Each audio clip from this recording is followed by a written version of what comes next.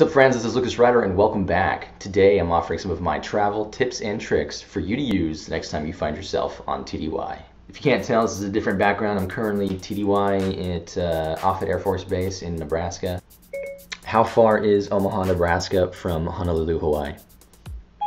Omaha is about 3,826 miles from Honolulu as the crow flies.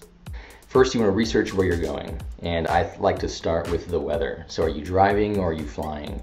What's the weather going to be like across the drive?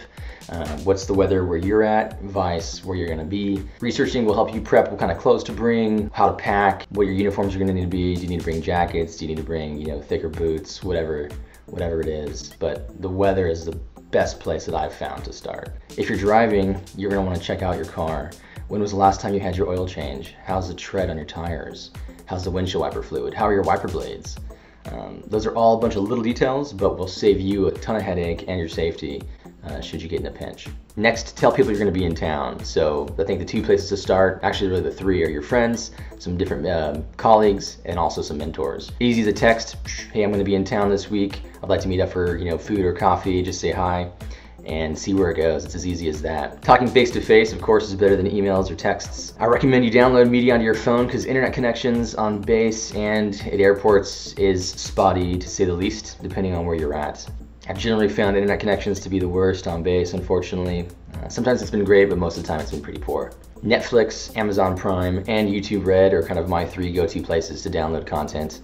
A bunch of different shows. I prefer YouTube Red because the diversity of content and just the variety that exists. I can't tell you how upsetting it is to get on a plane and then realize that it's not refreshed or upgraded and they don't have you know an outlet to plug your phone in or something to control for, for content and you're just going to sit there for the next six hours. You also want to reflect on your goals for the TDY, both personal and professional. So kind of touching on the networking, who you want to reach out to and contact and kind of foster some relationships, but also uh, professional goals with work, you know, what can you take back to your unit? Your uniforms, you want to check and make sure that they are good to go before you leave. For example, I uh, arrived once at a place, it was like 9.30, I'm getting ready for bed, I'm prepping my uniform, and I found out that on my ABU blouse there was a tear, and the next morning I was meeting with a general officer. So I'm thinking, oh my gosh, this is the time to uh, make a good, you know, impression, and my uniform is torn. Uh, no 24-hour tailors existed. Uh, I didn't have a sewing kit and I don't know how to sew and I couldn't fix anything. Alterations didn't open until after the meeting. So uh, I discovered a way that I could position myself in the meetings to kind of, you know, avoid this little, little wardrobe malfunction up here, so to speak. And uh, I got through it and it was fine. And then the next available opportunity, I went to alterations and they fixed it for five bucks and it was awesome. Don't do what I did and just be prepared and uh, be ahead of it. If you're, if you're driving by car, you also uh, want to have snacks. Snacks on snacks on snacks. Having snacks available is always something that I've found that's beneficial. Uh, yeah, you stop for gas along the way if you're driving. You know, I think it saves you money and it saves you time when you're getting to your TDY. Most of my TDYs lately have been by commercial air, so I have a lot of kind of lessons that I've picked up over the past few months on traveling by jet plane. And now for my favorite part of these videos, a reading from the AFI 362903. Those choosing to wear civilian clothing in lieu of a uniform during official travel ensure it is neat, clean, and warm enough for in-flight operations and appropriate for the mode of travel and destination. Don't wear flip-flops and board shorts to Antarctica, or if you do, make sure you have warm layers underneath. I like to dress warmer when I'm traveling by air because I found that most airports and airplanes are generally cold. I have a very cool pair of stretchy pants. When you are a man, sometimes you wear stretchy pants in your room is for fun.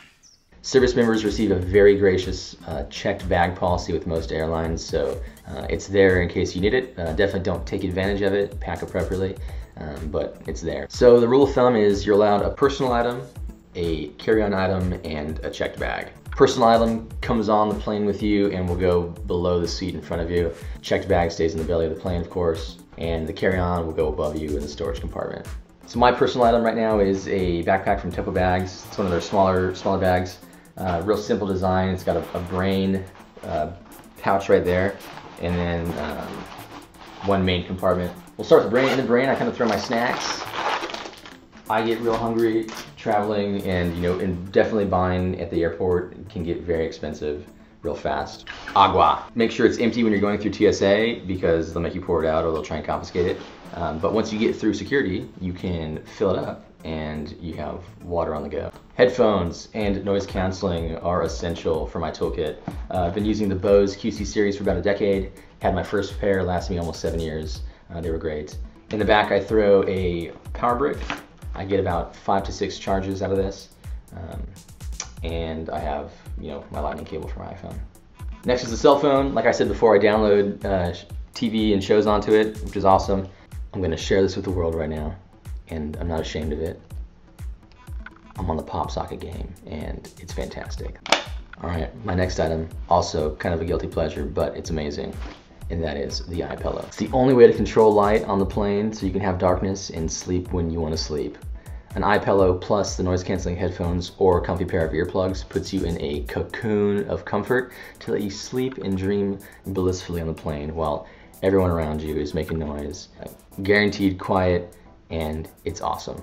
Finally, I bring uh, a neck pillow as well, just in case um, I really need to kind of crash out. Um, small enough and light enough um, that it doesn't take up much room in my backpack and it's there. My flights now are usually six hours a pop coming from Hawaii, anywhere I'm going, so um, kind of a, bit of a jaunt and it's nice to have this and just pass out. This is the trifecta with the eye pillow and the, the earplugs or headphones. It's kind of look kind of goofy, but you sleep soundly. Let's go full mode. Let's see how, how, uh, how this looks.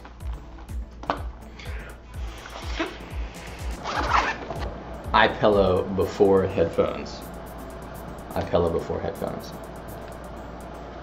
Oh, oh yeah, so good. I might just, I might just take a nap right now for a little bit. Roll forward and it supports you. So many options. Get with it, baby. I also like to take cash whenever I travel too. It's a, definitely a personal preference. Another thing that I've recently started bringing is a nice little photo of uh, my family. Right here. Sweet little 5x7, easy to go, little plastic frame, but uh, they're always with me and I set it up in the hotel room just to kind of remind me of home, uh, let me know my loved ones are there, and um, makes the hotel room a little more warm. So it's nice. I love I love my wife Adrian. She's amazing, and I love our dog Lady. So there they are on the nightstand. So cute. Hey Siri. When is Valentine's Day? Valentine's Day is today. Happy Valentine's Day. So one of the bummers about going TDY is that you're going to be away from family on holidays. How often I've missed, you know, birthday, uh, holiday, some kind of anniversary, just something, and uh, I've been on the road. So it's kind of a bummer, um, but plan appropriately and take care. You know, be mindful. It's kind of that planning factors too. Like I said, the first thing you do is kind of research and plan. Um, so don't forget to take care of uh, the ones you love um, before you go on the road, while you're on the road, and when you come back. I also like to pack the day before because it helps ensure that everything is where I need it to be before I go. You know, packing hours before I'm supposed to take off. If I'm missing something, I'm usually scrambling and just kind of stressful. So get everything packed, position it and stage it at the front door or next to the front door, um, and then you know brain dump, travel to hang out for a bit before I leave, and then when it's time to go, just take off and it's easy. I also recommend that you be a good traveler and sign up for airline rewards programs. United is a part of the Star Alliance, American Airlines uh, is a part of the AAdvantage program, uh, and so on and so on. But sign up, start kind of banking those points, and just being a good traveler. Things are going to come up along the way. You're going to need help. So phone a friend, call your supervisor, call your flight commander, and they will take your call any time of day, any time of night, and figure it out. Everything doesn't go completely as you planned, and just know that that's kind of the fun and the spontaneity of uh, of traveling. So be prepared and just modify things as, as you need to. Hand sanitizer is also nice to bring, a small thing, less than three ounces, because airplanes are petri dishes for germs, especially your, your food tray and that little backseat pocket. I've seen multiple times people blow their nose and then take their clean, used Kleenex and just kindly place it in the backseat uh, pocket. And I don't think that that backseat pocket is cleaned every single time um, when people uh, disembark. So gross. That's it. Those are my tips and tricks for traveling when TDY. Kind of a quick down and dirty snapshot of what I've uh, recently kind of learned. Hope it helps you.